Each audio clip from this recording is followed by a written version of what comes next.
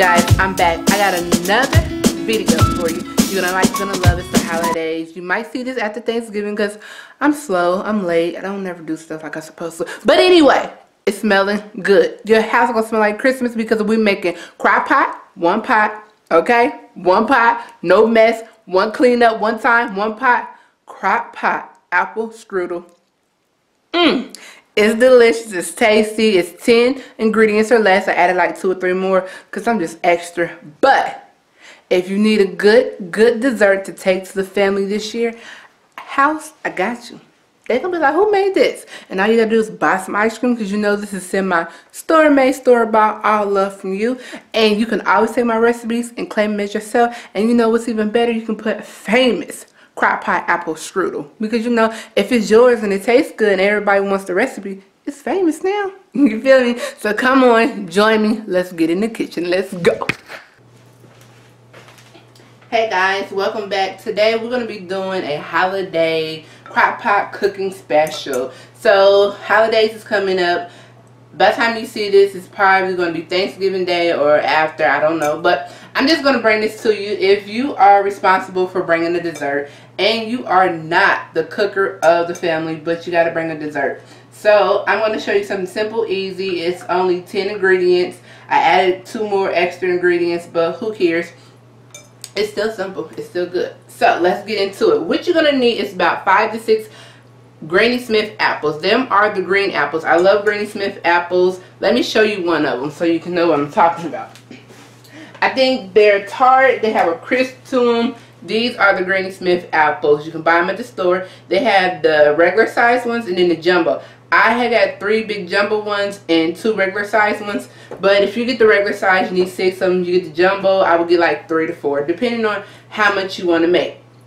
Then you're going to need your three-fourths cups of rolling oats or oatmeal. I have the quick Oh, oatmeal right here. You can use the name brand or the generic version. It is all up to you. You need a stick of butter. I will tell you the measurements directly at the bottom of the description box so you know how much you need.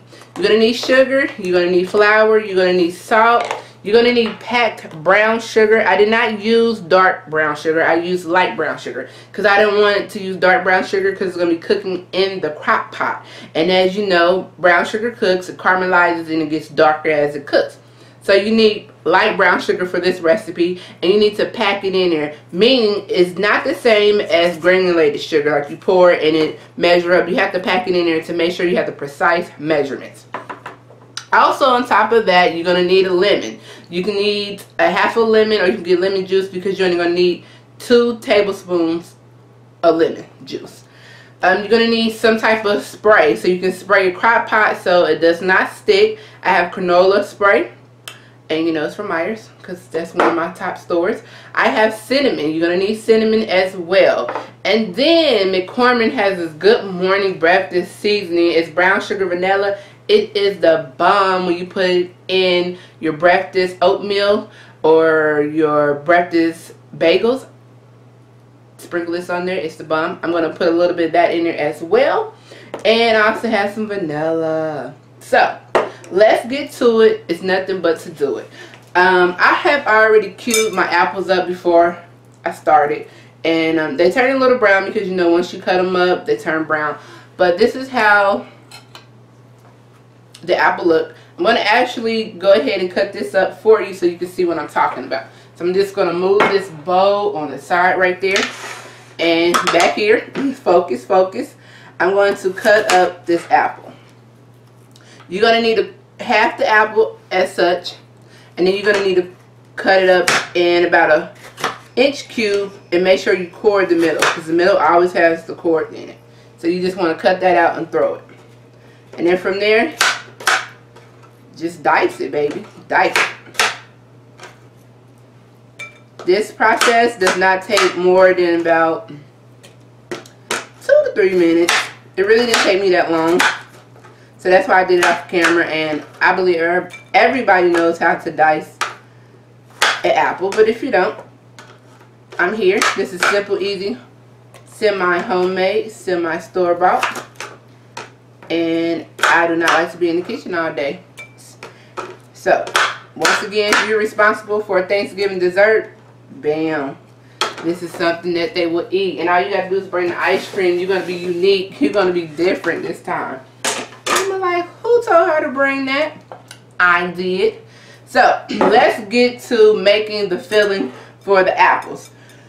Excuse me, got a little cough. So let's get to making the filling for the apples. It does not take that much to do this. So one, I have a fourth cup, I'm sorry, fourth quart crock pot right here. This serves about, I want to get a good view, a fourth quart crock pot. This serves five to six people, so that's all we need. Um, because it's going to be a lot of different desserts people are going to have. So one thing, first, we're going to spray, spread, or you can use your butter and you can wipe inside with some butter. But I'm just going to spray. I think it's better just to spray it. Give it a little spray. I'm going to be showing you everything that I put in the bowl right here so you can see as a visual and then I'm going to transfer it over to the crock pot because I'm going to put it in the crock pot to cook okay? So we're going to spray this first starting off. You have your five to six apples into your bowl. You're going to add your third cup of granulated sugar because this is the filling. I actually already measured this out so we're just going to sprinkle it over just go ahead and sprinkle it over your I'm sorry, you're going to go ahead and just sprinkle this over your um, apples because I already measured it out for you. Okay. Don't leave nothing behind. Nothing behind. I know you're like, it's nothing else in there. It was. It was. want to let you know that. Then from there, you're going to put two tablespoons of all-purpose flour. So I'm getting my tablespoon out. And I'm going to show y'all what's the difference between a tablespoon and a teaspoon. I think people get confused. And it can be confusing if you're not a baker. So I'm going to go ahead and show you what I'm talking about. this is a teaspoon. I don't know if you can see it or not. It says it on there. Teaspoon. Maybe I to turn it this way. It says it on there and it's actually smaller. And then the tablespoon is bigger. You can tell the difference in the size. Totally different. And at the end of the measures, it actually tells you. Tablespoon has a T and a big B.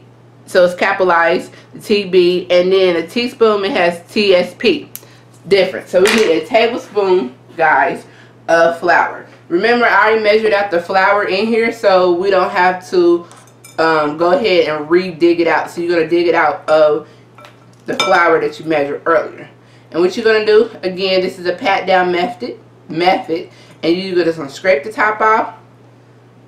I'm sorry, and you're going to sprinkle that flour in it. And you need two of them.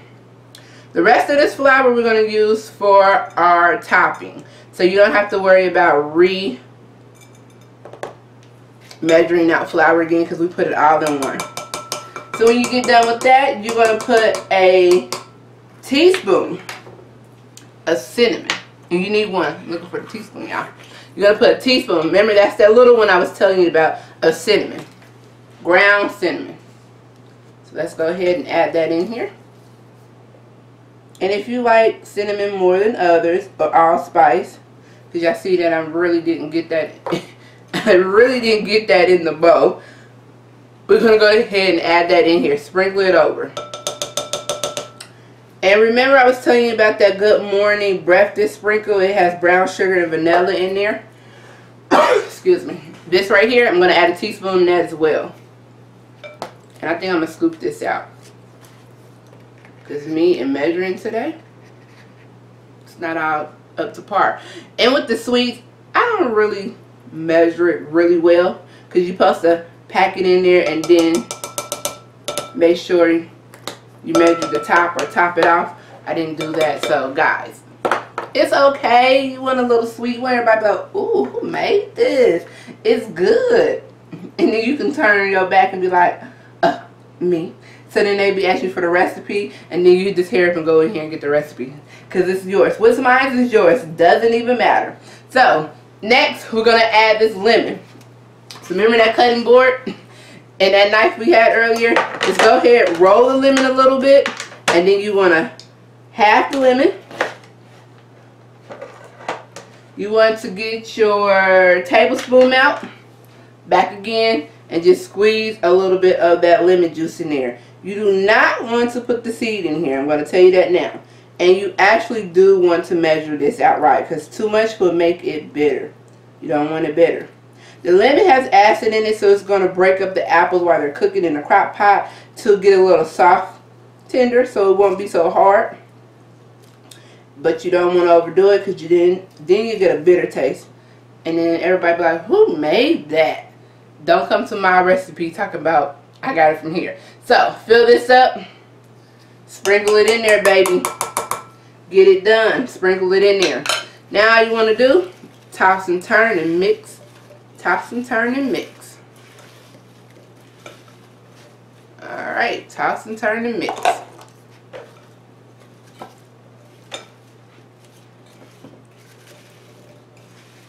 It smells so good, especially with that um, McCormick Breakfast. It smells like vanilla is in here. And it smells. So let me move this out the way so I can show y'all what I'm actually doing. So we're going to mix it up. Get everything coated.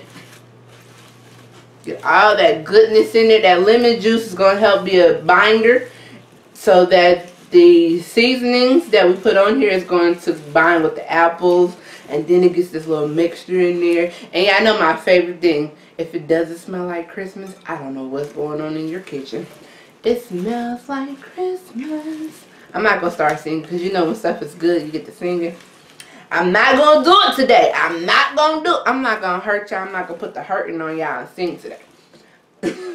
so, I'm going to keep continuing to mix this up until everything is coated. I love the smell of vanilla. So, you know, a good baker cooks from the heart. And they do not need to measure. I'm going to do a drip drop of this vanilla in here. Because I Okay? So we're going to stir this up. I told y'all I wasn't going to put the hurting on y'all sing. But I'm going to stir this up. Alright, so I think I got everything coated in here. It is smelling delicious. It smells like Christmas. Alright, so scoop this back because we got everything mixed up. I'm going to give y'all a final look. If yours not looking like this, you went somewhere wrong. You need to rewind, rewind, and go back and look at this video again. Because everything that I told you to do should have your stuff coming out looking like this. So move that to the back. Remember that crock pot that we sprayed with the canola oil, the vegetable oil, the peanut oil, whatever oil that you use in your house. I would provide you to use extra extra olive oil. Yeah, that's what I'm extra olive oil because that gives it a different taste. we want that buttery taste, that, ooh, it's Christmas going on around here. Holiday spirit. That's the butter we want, holiday spirit. So now we're going to take this mixture that we did earlier. We're going to give y'all a nice little close-up. And we're going to put it in this crock pot. And I'm telling you, you make sure you get every little bit of this out and you put it in the crock pot. I don't really talk like that, y'all, But I'm just saying you know when you're cooking and stuff is really good you do the most. So make sure you put every drip drop I mean every drip drop in this crock pot. That's why you need a spatula. Our good bakers have a spatula. This is a spatula if you don't know. All good bakers have a spatula. Because the spatula gets everything. I mean everything out your bowl alright so Take that, put it in your crock pot. You just want to make sure it's evenly distributed in the crock pot. Oh, it's smelling delicious. And once again, evenly distributed in the crock pot. Put it in there. Now what I'm going to do is set this crock pot aside and we're going to start on that topping. That topping, that streusel. So remember, this is an apple crock pot streusel. We're going to get started on that. So sit this aside. I no longer need my mixing bowl. Now I need my topping bowl. So, for the topping, for this apple crock pot streusel, we're going to need that packed brown sugar that I was telling you about.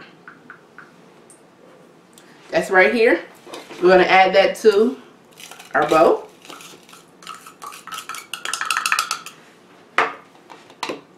We're going to add the remaining of that flour.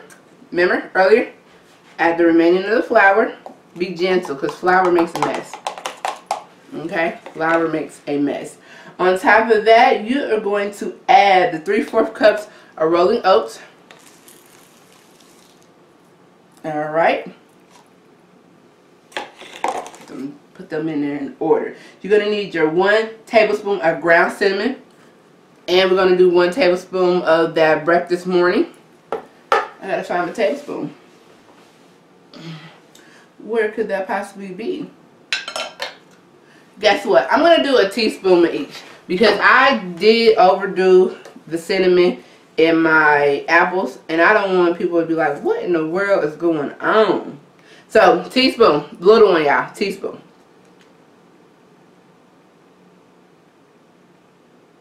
Once I can get that in there. Sprinkle that on top. And then I'm going to do a teaspoon of the breakfast morning stuff. I don't know if all stores sell that. But my Meijer's, this is not sponsored, but Meijer's, if you want to, I am here for you. They sell it and it is delicious. We're going to mix this up really, really good. Mix it up. Oh, I keep telling y'all I'm not going to put the hurting on y'all sing. But this stuff smells so freaking delicious. Now you have to make sure you mix it up really, really good because you have that packed brown sugar at the bottom and you want to make sure it's all through the whole mixture, okay? Now don't get crazy and mix it out the bowl like I just did because that's what happens when stuff, when you're baking from the heart and it smells delicious. Alright, so I think I have this mixed up really, really well. Now, the last and the most important ingredient. I have salted butter. You can use unsalted butter, but I'm going to use salted butter because I didn't add any salt to the apples and I have it pretty sweet. We're going to add a pinch of salt into this streusel mix, but also I wanted to make sure that it's not over sweet and we have the salted butter. You need four tablespoons of salted butter. I think four teaspoons. I'm sorry, four teaspoons of salted butter. I had to look on the back of this. Now, if you get the butter like this, or if you get the butter in a container, um, I can't really help you with the container because you have to go ahead and you got to get your measuring cups. But if you get the butter like this, it's already packaged with the label on the back of it. It has tablespoon at the bottom and it has teaspoons up top. See, everything is working out for these people that know how to bake. So we need eight teaspoons, okay? Eight teaspoons. So let's cut that up and we're actually going to mix it in here. And then we're going to put it on top, put it in the crock pot, and then we're going to come back and check this out. So let me get to doing what I do best. Let's pull that handy dandy chopping board out. And it has it labeled on here, so I'm going to count one, two, three, four, five, six, seven, eight. And I'm going to cut right there. I don't need no more I don't need any more butter. And then from here, the butter was frozen. So you want it not to be room temperature. You want it to be like it been in the refrigerator. Uh, or it has been frozen. Either way. Because you're going to actually keep mixing this butter into the streusel or the topping mix. Mix it up. I cut it up in little bitty cubes of butter. I cut butter up in little bitty cubes simply just so that I can put it in this bowl because I should have got a bigger bowl, but I didn't. So, oh well. That's me. And so we're going to keep mixing this up, y'all. Then the next thing you want to do once you get the butter incorporated and mixed in here, I think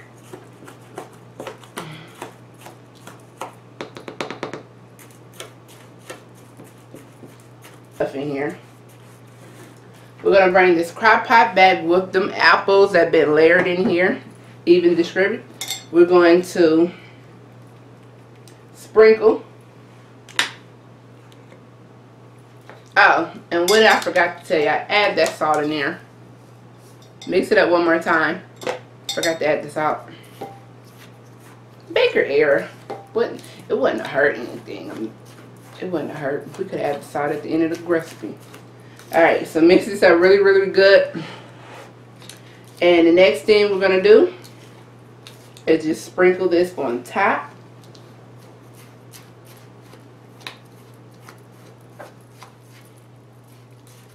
Okay. So we're going to sprinkle this on top. Really good.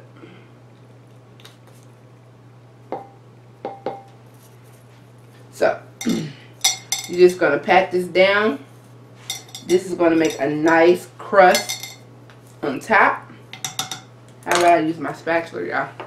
Because what did I say earlier? A good baker always has a spatula. so we're just going to form a crust on top as this bait. And we're going to pat this down because, one, these apples are going to make their own juices, which is going to rise and cook and get tender.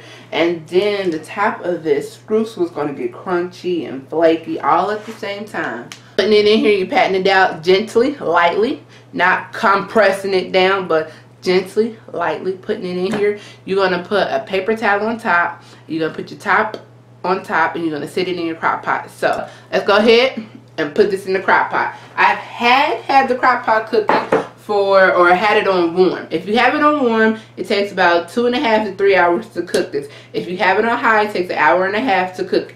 I'm going to put it on warm because I have a bunch of stuff to do. Once this is done, I'm going to show you the final result. I'm going to take a picture. I'm going to put it on here. And you know we always have to take a little bit, a sample to taste it. And then from there, I will let you know if your house going to smell like Christmas. Y'all people, folks, ladies and gentlemen, I'm about to reveal what's been going on in this lovely four quart crock pot. Okay, so I think it's been, I don't have my phone with me, sorry. But I think it's been like, um, an hour and a half maybe. And I actually cooked it on high because I need to get the get, the get going. So um, I put it on high and I told you if you cook it on high it's going to cook for an hour and a half, maybe two, depending. If you cook it on low, it's two and a half to three. Um, I'm about to tell you the reason why I told you about this napkin. I don't know if you can tell or not by the end of the napkin and what's going on, but the napkin is soaking. Okay, napkin is wet. It's soaking, y'all. So it's a little damp. That's the reason why I told you not, not to do the not do and I'm gonna bring y'all into the food. Do y'all see that? It's beautiful. So um, you can see the edges of the caramelization of the brown sugar. You can see on top it's getting where we need it to be. It's looking delicious. I hope I got y'all angle right. It's looking delicious. It smells like an apple pie on a Sunday morning before church time. Okay, so what I'm about to do is take off this dip napkin that I told you about, the dip napkin I told you about. Take it off. I'm going to let this cook. So now we can let it simmer. And then I'm going to let it cook for another 15 to 20 minutes. Then I'm going to take it out. And then I'm going to have to go ahead and put my fork in it.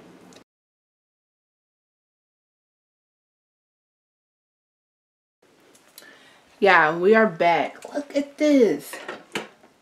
Look at that. That is looking delicious. I am running out of time. Normally I cut it, put it on a plate, taste it. I, I got my fork. And I'm just going to dig on this side right here. Mm-mm-mm. I'm going to dig on it. I cut it off too. And I'm going to dig on the side. Look at that, y'all. It is golden brown. It smells good. It's delicious. I'm going to taste it. Mmm. It passed the test. It's good.